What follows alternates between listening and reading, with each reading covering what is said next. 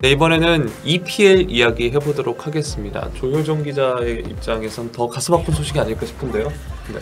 그렇죠. 저도 이 경기를 음. 봤는데 깜짝 놀랐습니다. 설마 설마 했거든요. 그래서 사실 리버풀이 최근 어, 프리미어리그에서 일단 유럽 무대 성적이 가장 좋고요.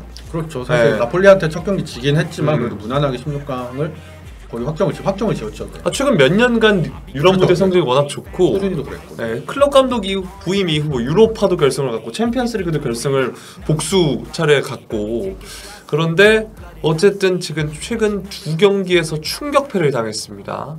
네, 사실 뭐 좀 분위기가 바뀌었다라고 볼 수도 있었어요. 뭐 시즌 초반에 분위기가 안 좋긴 했지만 11라운드 맨시티를 상대로도 이겼고 음, 또 11라운드 웨스트햄 상대로도 어쨌든 이겼고 음, 그런데 지난 경기부터 조금 분위기가 이상해졌습니다. 뭐 음. 22 최하위는 노팅엄 포레스트 원정 음. 경기에서 0대 1로 패배를 했고요. 그리고 어제 어제 경기였죠. 네, 뭐 14라운드 어제 그저께 경기였나요? 14라운드에서 18위 리즈 유나이티드의 1대 2로 패했습니다. 그리고 더 충격적인 건 이 경기가 안필드에서 열렸다는 거. 네. 홈 경기에서 패했다는 충격뿐만 아니라 바로 이것 때문에 더 충격을 선사하지 않았나 싶어요. 바로 반다이크의 기록이 깨졌습니다. 네, 판데이크 선수가 리버풀 합류한 이후로 홈 리그 경기에서는 리그 홈 경기에서는 한 번도 진 적이 없었습니다. 음, 그게 뭐 한 10경기, 뭐 20경기 이렇게 된 게 아니라 무려 70경기, 음, 59승 11무를 거뒀었고요. 홈에서만큼은 특히 리그에서만큼은 한 번도 지지 않는 모습을 보여줬는데 리버풀이 이 경기에서 패배하면서 이 기록도 깨지고 말았습니다. 아, 상황의 심각성을 좀 말씀드리면 프리, 프리미어리그 지금 12라운드까지 진행을 했는데 9위예요. 그렇죠. 12경기 동안 승점이 16점밖에 되지 않습니다. 음. 지금 9위라고 말씀을 드렸는데 4위까지가 차이가 승점 차이가 8점이잖아요. 네. 8점이거든요. 뉴캐슬 유나이티드가 4위고 승점 24점이니까 8점인데 지금 강등권에 있는 18위 레스터 시티가 승점 11점이거든요. 음. 승점 차이가 5점밖에 나지 않습니다. 음. 4위보다 강등권이 가까운 상황이다라고 말씀드릴 수 있을 것 같고요. 지난 시즌 리버풀이 38경기 승점이 92점이었거든요. 그렇죠. 뭐 맨시티에 이어서 2위를 차지했는데 이게 이제 총 38경기니까 이제 곱하기 3을 하면 최대 얻을 수 있는 승점이 뭐 114점인데 네. 놓친 승점이 22점밖에 안 된다는 얘기거든요. 음. 근데 올 시즌에는 지금 12경기밖에 치르지 않았는데 이미 놓친 승점이 20점에 달합니다. 아. 총 36점을 딸 수 있는 상황에서 16점밖에 못 땄으니까요. 지금 상황이 심각하다는 지표가 이걸로도 볼 수 있는데 12경기에서 승점 16점 따는 게 2010-11 시즌 호지슨 감독 시기와 동률이네요. 제가 리버풀 경기를 보기 시작한 이후로 가장 보기 힘들었던 때가 이때였거든요. 네. 폴 콘체스키 있고 그렇죠. 콘체스키를 막 데려왔었고 네. 뭐 스피어링 이런 선수들이 있었어요. 그래서 아 이때 정말 보기 힘들었었거든요. 음. 근데 이때랑 지금 승점이 같다. 음. 그러니까 얼마나 지금 심각한지 상황을 알 수 있을 것 같습니다. 자, 성적이 안 나오다 보니까 이런 이야기가 당연히 기사에서 많이 다뤄지는데 불화설 이야기도 나와요. 그렇죠. 뭐 성적이 안 좋은 팀은 늘 이런 얘기가 뒤따라오죠. 뭐 파비뉴 선수랑 클롭 선수 감독이 좀 트러블이 있다. 음. 이게 몇 경기 전에서도 그런 얘기가 있었거든요. 네. 훈련 상황에서나 이럴 때 좀 의견 차 의견 충돌이 있었다. 그리고 근데 이번에도 이제 어제 경 이번 14라운드 리즈 유나이티드 전에서도 뭐 벤치에서 막 지시를 했는데 파비뉴가 별로 이제 반응을 좀 좋지 않게 했다. 음. 어떻게 보면 뭐 요 정도는 늘상 어느 그렇죠, 있을 예. 수 있는 일인데 아무래도 성적이 좋지 않다 보니까 음. 이게 불화설이나 이런 걸로까지 이야기가 나오고 있습니다. 자, 그러다 보니까 당연히 나오는 게 지금 제목에도 나와 있지만 클롭 경질 이야기가 조금씩 나오고 있어요. 사실 뭐 아직까지도 뭐 경질 이야기를 하기에는 음. 가능성도 낮고 하지만 뭐 현지에서도 조금 조금 조금씩 음. 이야기가 나오고 있습니다. 그 감독 경질 뭐 배당 이런 게 있잖아요. 뭐 유럽에는 그런 게 좀 활발히 돼 있으니까 경질 배당 순위에서도 클럽 감독이 조금 음. 조금씩 상위권으로 올라와서 제가 아까 확인한 걸로는 뭐 물론 이제 업체마다 조금씩 다르지만 뭐 3, 4위권까지 올라온 업체들도 있고요. 음. 그렇더라고요. 그래서 그 정도로 좀 경질 이야기가 조금씩 가능성이 언급되고 있다라고 볼 수 있을 것 같습니다. 이번 시즌 앞두고 리버풀의 선수 영입이 그렇게 많이 이루어지진 않았어요. 뭐 누니에스도 있었고 뭐 아르투르 임대 건도 있긴 했는데 어쨌든 이런 미진한 선수 영입에 대한 책임론도 지금 나오고 있습니다. 네, 뭐 기본적으로 이제 리버풀을 이제 소유하고 있는 FS 페네이 스포츠 그룹에 뭐 지원을 좀 적게 해줬다, 지원을 좀 충분히 안 해줬다라는 이야기를 할 수도 있겠지만 사실 클럽도 여기에 대해서 좀 책임을 피할 수 없다. 음. 뭐 이런 의견이 있어요. 뭐그 음. 왜 그러냐면 서- 클럽이 굉장히 선수들을 엄청나게 신뢰를 하거든요. 음. 이게 너무 좀 때로는 과하다고 싶을 정도로 네. 뭐 대표적으로는 이제 케이타라든지 나비 음. 케이타, 뭐 옥슬레이, 옥슬레이드, 체인벌린 뭐 이런 음. 선수들이 있겠죠. 이런 선수들은 사실 조금 맘만 먹었으면 빠르게 이제 손절, 빠르게 음. 파 매각을 할 수도 있는 선수들이었는데 이 선수들을 계속해서 지켜보면서 지금까지 끌고 왔기 때문에 이 선수들이 있는 상황에서는 어떻게 또 영입을 할 수기도 좀 어렵잖아요. 이미 선수들이 있긴 하니까 뭐 그런 면에서 클럽이 책임이 없다고 볼 수는 없다라는 이야기가 있고요. 그리고 또 지난 여름 이적 시장에서도 사실 본인이 또 인정을 했었죠. 음. 뭐 미드필더 영입이 계속 필요 없다 이런 이야기를 직접 하다가 결국에는 이제 막판에 와서는 아 미드필더 영입 필요 없다는 자신의 생각에 틀렸다라는 것을 음. 인정을 하고 뭐 급하게 아르투르를 임대 영입한 상황이 있었습니다. 다만 케이타는 등번호가 일단 8번이 8번이고 보이고요. 네. 8번 일단 자기가 갖고 있고요. 음. 네, 홈그로운 적용도 안 되고 그렇죠. 네. 이적료도 비쌌습니다. 그리고 잘했던 적을 보여줬던 적도 거의 없었죠. 음. 네. 그렇기 때문에 이제 빠른 손절을 했어야 되지 않나 이런 이야기도 당연히 나오고 있는 것 같고요. 근데 사실 선수들의 폼도 안 좋고 부상도 워낙 많았어요. 근데 이 역시 이제 클롭 감독의 책임이 아니냐라는 음. 이야기를 연결지을 수 있을 것 같은데요. 클롭 감독이 좀 로테이션이나 선수 기용에서 좀 소극적인 모습을 보일 때가 있어요. 하체 팀이 잘 나갈 때도 그랬었거든요. 특히 이제 특정 선수를 대상으로 그런 경우들이 있는데 음. 이렇게 좀 한 선수를 좀 과다하게 기용을 하다 보니까 그 선수에 좀 과부하가 걸리고 음. 그러다 보니까 부상이 잦아지거나 아니면 한편으로는 좀 폼이 저하되는 이런 경우들이 굉장히 많이 있었거든요. 대표적인 예로는 리버풀 입단 초기에는 오른쪽 풀백 자리를 보던 나다니엘 클라인 선수. 음. 이 선수가 거의 뭐 전경기 풀타임을 소화할 정도로 엄청나게 이제 클롭 감독이 중용을 했었거든요. 심지어 왼쪽 풀백으로도 막 그렇죠. 나오고 왼쪽이 빵꾸가 나면 왼쪽으로 이동해서 네. 나오고 그런데 이 선수가 그렇게 하다 보니까 그 이후로 좀 큰 부상에 시달리고 부상 잦아지더니 결국 조용히 이제 다른 팀으로 이제 이적 음. 자유계약으로 떠나게 됐죠. 그리고 최근에는 얼마 전까지만 해도 앤디 로버트슨 음. 이 선수도 초반에는 사실 클럽 감독이 조금 조금씩 기용을 할까 말까 하다가 점점 주전으로 자리 잡고 난 뒤에는 계속 썼거든요. 특히 뭐 지난 시즌 같은 경우에는 치미카스 선수라는 좋은 이제 백업 선수가 있었음에도 불구하고 좀 아 이 정도에는 좀 선수한테 체력 안배를 해줘야 할 타이밍이 아닌가라고 했을 때도 계속 로버트 선수를 넣었고 그리고 이제 당장 이제 가장 가까운 현재 폼으로 보자면 파비뉴 선수가 음. 폼이 굉장히 안 좋거든요. 근데 이 선수도 사실 좀 억울한 게 너무 많이 뛰었어요. 너무 계속 했고 사실 이 선수도 뭐 앞서 클라인이 왼쪽으로 뛴 것처럼 이 선수 수비형 수비수가. 부족하면 센터백으로 내려가서도 뛰고 계속 그런 식으로 뛰잖아요. 이 선수도 그래서 최근 컨디션이 안 좋은 그런 상황이다. 이런 것들에 대한 책임을 감독이 피할 수는 없다라는 말씀을 드릴 수 있을 것 같습니다. 네. 사실 리버풀이 그 외에도 부상자가 굉장히 많습니다. 네, 네. 이번 시즌도 부상자가 정말 많네요. 근데 지금 당장 뭐 부상인 선수만 해도 디오고 조타, 뭐 음. 루이스 디아스, 아르투르, 뭐 마팁, 코나테 뭐 이런 선수들이 있는데 이런 선수들이 물론 이제 경기 중에 충돌로 인해서 부상을 당하는 경우도 있지만 사실 이런 식으로 부상자가 엄청나게 많은 게 리버풀이 올해만 있었던 일이 아니거든요. 음. 뭐 다들 아시다시피 뭐 당장 두 시즌 전에 2020, 2021 시즌에는 중앙 수비 수들이 다 부상으로 이제 맞아요. 있었고 이게 이렇게 부상자가 계속 꾸준히 많이 발생한다는 거는 내부적으로 좀 문제가 있다라고 볼 수밖에 없을 것 같아요. 뭔가 음. 뭐 내부적 훈련상에서 너무 좀 무리가 한다가 있다든지 아니면 경기 전술 상에서 계속 과부하가 걸릴 수밖에 없을 정도로 이제 선수를 사용한다든지 아니면 영입을 이제 제대로 못하면서 이제 선수들이 충분히 순환이 되지 음. 않아서 어려움을 겪는다든지 이런 것들도 책임이 있다라고 말씀을 드릴 수 있을 것 같습니다. 물론 뭐 아르투르 같은 경우에는 애초에 인저리 인저리 프론이었고요. 근데 그것부터 이제 좀 잘못됐다고 할 수 있죠. 영입을 잘못한 건 injury prone은 팀 내 부상자가 이렇게 많은 상황에서 음. 영입을 굳이 했는데 그걸 또 injury prone을 데려왔다. 그것도 이제 뭐 책임이 있다라고 보는 연결시킬 수 있겠죠.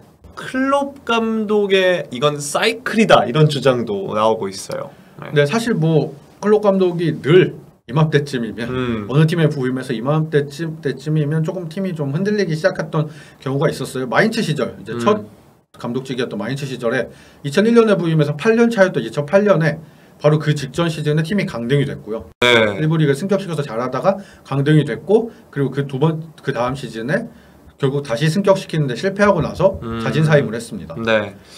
자, 그 다음 이제 도르트문트 시절이잖아요. 근데 도르트문트 시절은 이제 그래서 마인츠를 떠나고 도르트문트에 2008년에 부임을 했는데 막 그러고 엄청 전성기를 구가했잖아요. 뭐 우승도 다투고 음. 챔피언스리그 결승에도 올라가고 그러다가 2014-15 시즌에 팀이 굉장히 또 부진을 겪습니다. 음.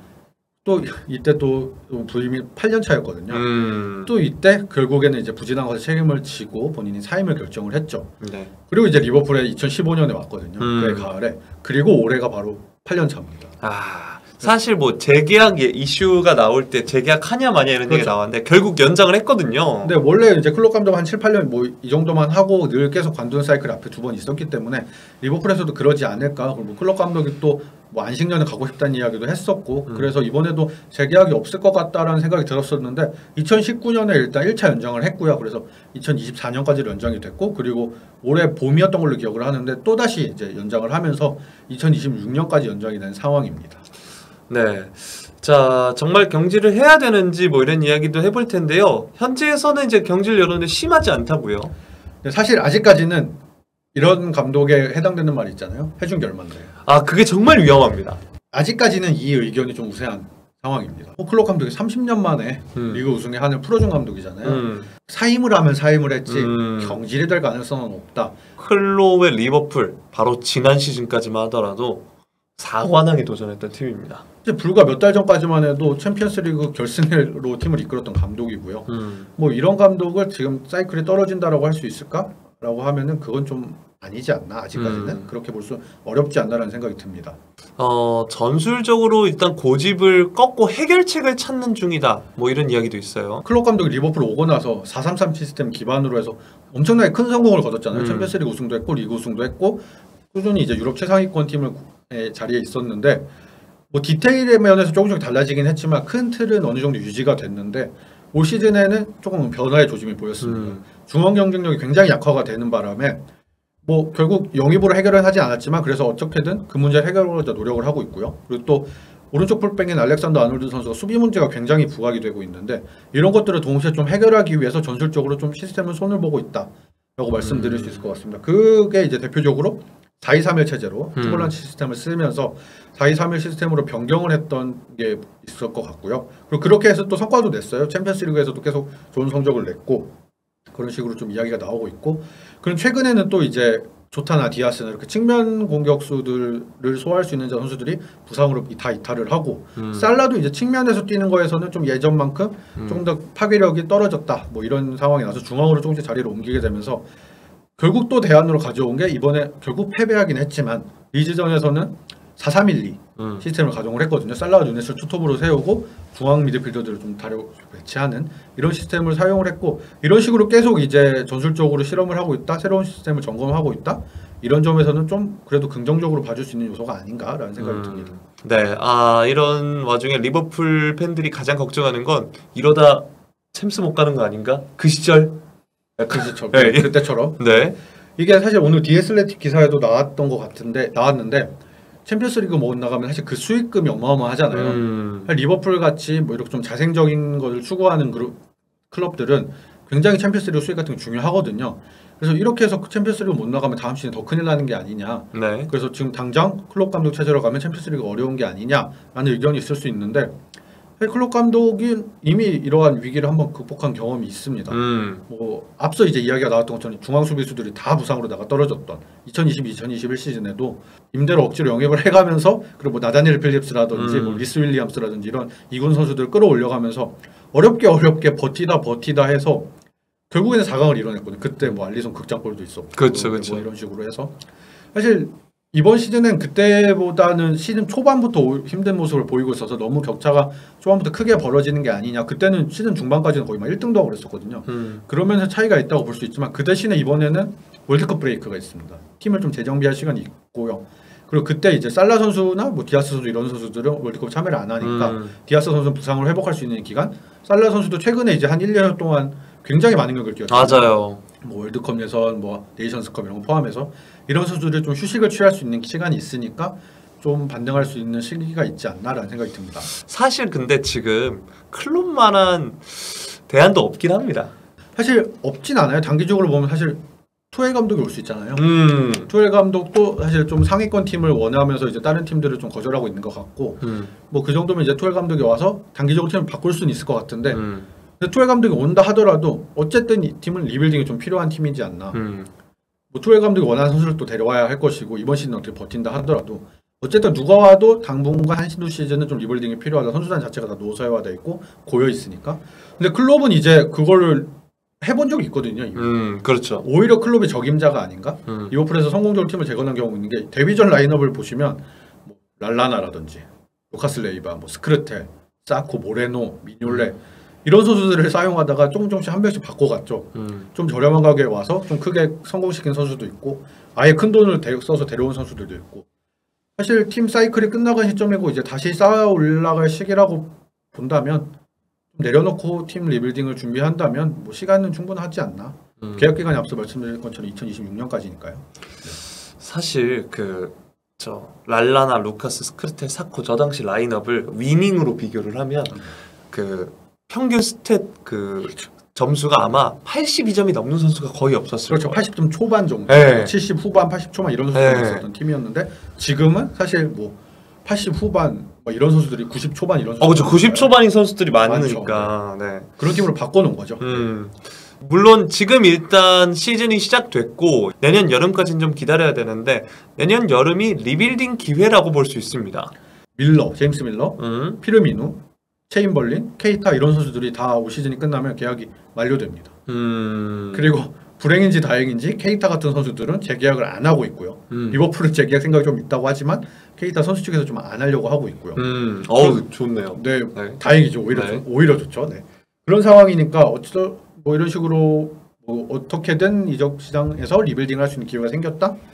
그렇게 되면 이제 새로운 출발을 할 수 있는 시기가 되지 않을까라는 생각이 듭니다. 음. 사실 FSG가 돈을 많이 안 쓴다는 이미지가 있긴 한데 그래도 많이 쓰기도 많이 썼어요.